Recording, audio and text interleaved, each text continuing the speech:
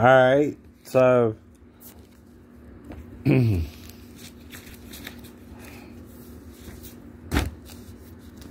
we're gonna go over this is what a normal pelvis should look like, right?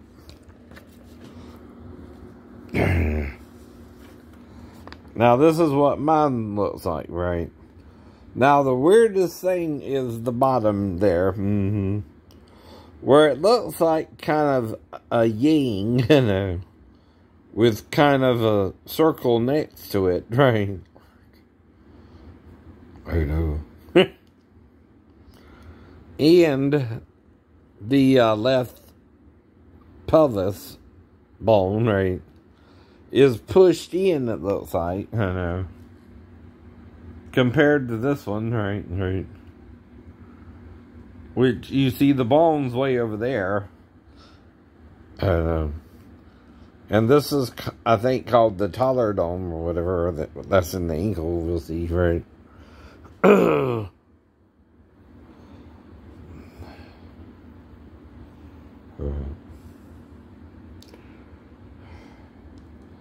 and that's part of the sacrum. Now, if you notice, it looks like part of it is kind of Missy. Right. See, the sacrum is a full bone, right? Well, if you look at this view, mm -hmm, this here looks like part of it is missing, right? And that part, I know, looks like a jagged edge.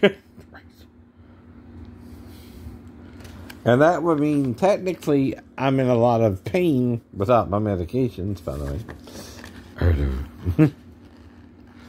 Though I take it only once a day and only 50 milligrams and make sure.